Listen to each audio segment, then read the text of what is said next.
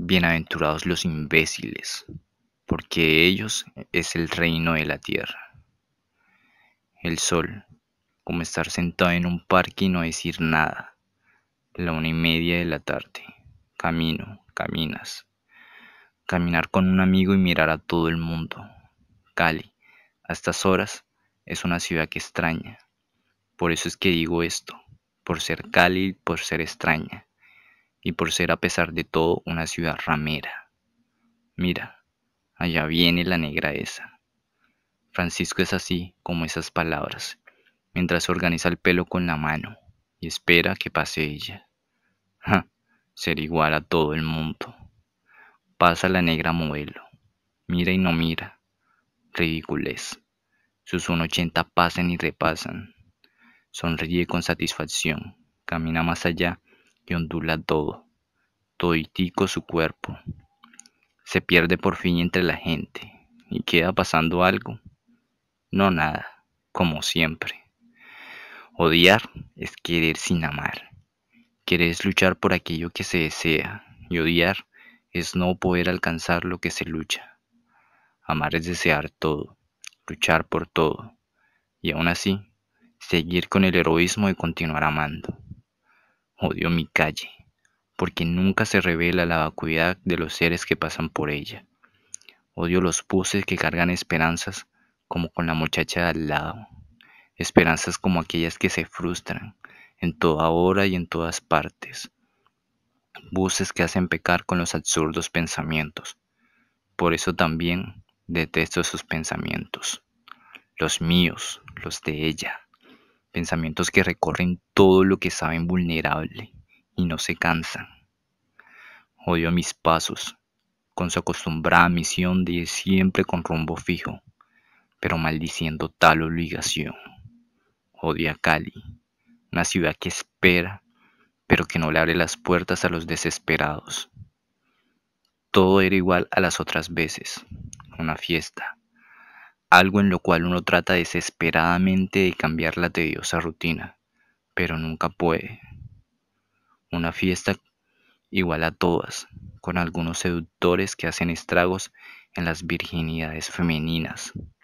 Después, por allá, por Jumbo Jamondí, donde usted quiera. Una fiesta con tres o cuatro muchachas que nos miran con lujuria mal disimulada. Una fiesta con numeritos que está mirando el que acaba de entrar. El tipo que se bajó de un carro último modelo. Una fiesta con uno que otro marica bien camuflado. Y lo más chistoso de todo es que la que tiene al lado trata inútilmente de excitarlo. Con el codo, con la punta de los dedos. Una fiesta con muchachas que nunca se han dejado besar del novio. Y que por equivocación son lindas. Y también con F. Upegui, que entra pomposamente. Viste una chaqueta roja, hace sus poses de ocasión y mira a todos lados para mirar miradas. Una fiesta con la mamá de la dueña de casa.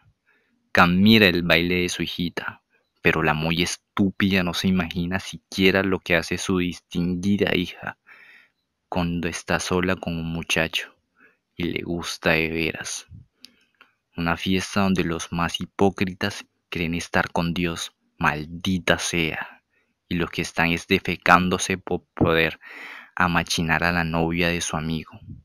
Piensan en Dios y se defecan con toda calma, mientras piensas en poder quitársela. Sí, odio a Cali, una ciudad con unos habitantes que caminan y caminan y piensan en todo y no saben si son felices. No pueden asegurarlo. Odio mi cuerpo y mi alma. Dos cosas importantes, rebeldes a los cuidados y normas de la maldita sociedad. Odio mi pelo. Un pelo cansado de atenciones estúpidas. Un pelo que puede originar las mil y una importancias en las fuentes de soda.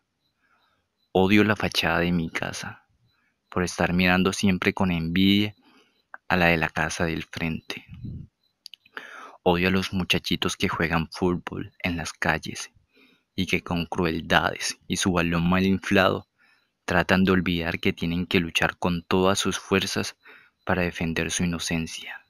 Sí, odio a los culicagados que cierran los ojos a la angustia de más tarde, la que nunca se cansan de atormentar todo lo que encuentra, para seguir otra vez así, con todo, nuevamente, agarrando todo, todo. Odio a mis vecinos, quienes creen encontrar en un cansado saludo mío el futuro de la patria. Odio todo lo que tengo de cielo para mirar, sí, todo lo que alcanzo, porque nunca he podido encontrar en él la parte exacta donde habita Dios. Conozco un amigo que le da miedo pensar en él, porque sabe que todo lo de él es mentira, que él mismo es una mentira, pero que nunca ha podido, puede, podrá aceptarlo. Sí, es un amigo que trata de ser fiel, pero no puede. No, lo imposibilita su cobardía. Odio a mis amigos, uno por uno, unas personas que nunca han tratado de imitar mi angustia, personas que creen vivir felices y lo peor de todo es que yo nunca puedo pensar así. Odio a mis amigas por tener entre ellas tanta mayoría de indiferencia.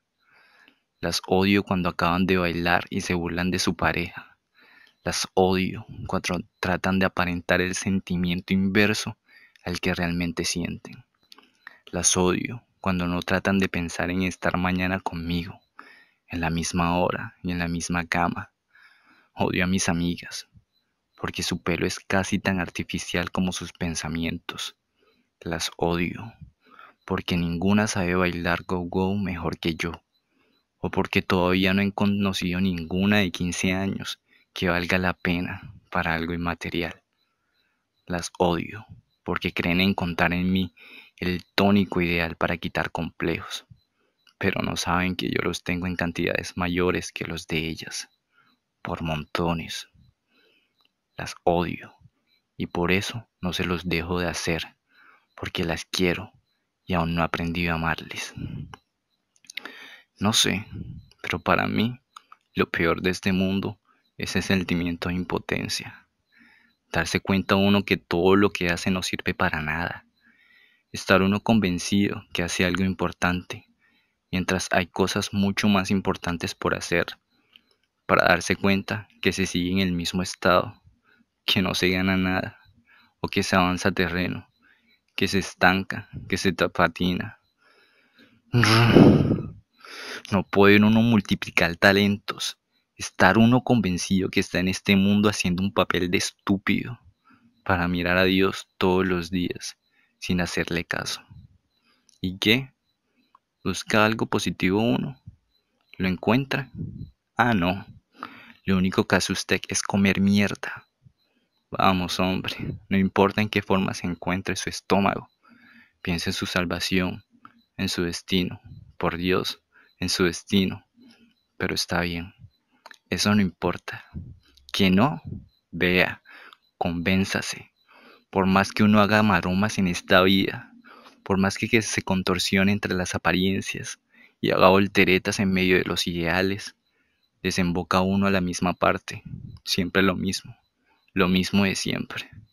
Pero eso no importa, no lo tome tan en serio, porque lo más chistoso, lo más triste de todo es que usted se puede quedar tranquilamente, suavemente, defecándose, pudriéndose, poco a poco. Tómelo con calma. Calma, por Dios, tómelo con calma. Odio la avenida sexta, por querer encontrar en ella la benichora importancia de la verdadera personalidad. Odio el club campestre, por ser a la vez un lugar estúpido, artificial e hipócrita. Odio el Teatro Calima, por estar siempre los sábados lleno de gente conocida. Odio al muchacho contento que pasó al lado, que perdió al fin del año cinco materias, pero eso no le importa, porque su amiga se dejó besar en su propia cama. Odio a los maricas, por estúpidos en toda la extensión de la palabra. Odio a mis maestros y sus intachables hipocresías. Odio las malditas horas de estudio por conseguir una maldita nota. Odio a todos ellos que se caen en la juventud todos los días. Es que sabes una cosa, yo me siento que no pertenezco a este ambiente, a esta falsedad, a esta hipocresía. ¿Y qué hago? No he nacido en esta clase social, por eso es que no, por eso es que te digo que no es fácil salirme de ella. Mi familia está integrada en esta clase social que yo combato. ¿Qué hago? Sí, yo he tragado, he cagado este ambiente durante 15 años y por Dios, ahora casi no puedo salirme de él. Dices que porque vivo yo todo angustiado y pesimista. ¿Te parece poco estar toda la vida rodeada de amistades, pero no encontrar siquiera una que se parezca a mí? No sé qué voy a poder hacer, pero a pesar de todo, la gloria está al final del camino, si no importa. La odio a ella por no haber podido vencer a su propia conciencia y a sus falsas libertades. La odio porque me mostró demasiado rápido que me quería y me deseaba, pero después no supo responder a estas demostraciones. La odio porque no la supo demostrar. Pero ese día se fue cargando con ellas para su cama yo la quiero, muchacha estúpida. ¿No se da cuenta? Pero apartándonos de eso, la odio, porque me originó un problema el berraco, y porque siempre se iban con mis palabras, con mis gestos y mis caricias, con todo, otra vez para su cama. Pero tal vez para nosotros exista otra gloria al final del camino, si es que todavía nos queda un camino. ¿Quién sabe? Odio todas las putas por andar vendiendo añoraciones falsas en todas sus calles y sus casas. Odio las misas mal oídas. Odio todas las misas. Me odio por no saber encontrar mi misión verdadera. Por eso me odio. ¿Y a ustedes? ¿Les importa? Sí.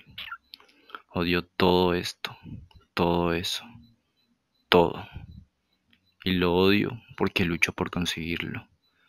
Unas veces puedo vencer y otras no. Por eso lo odio, porque lucho por su compañía. Lo odio, porque odiar es querer y aprender a amar. ¿Me entienden? Lo odio, porque no he aprendido a amar y necesito eso. Por eso odio a todo el mundo. No dejo odiar a nadie, a nada a nada ni nadie, sin excepción.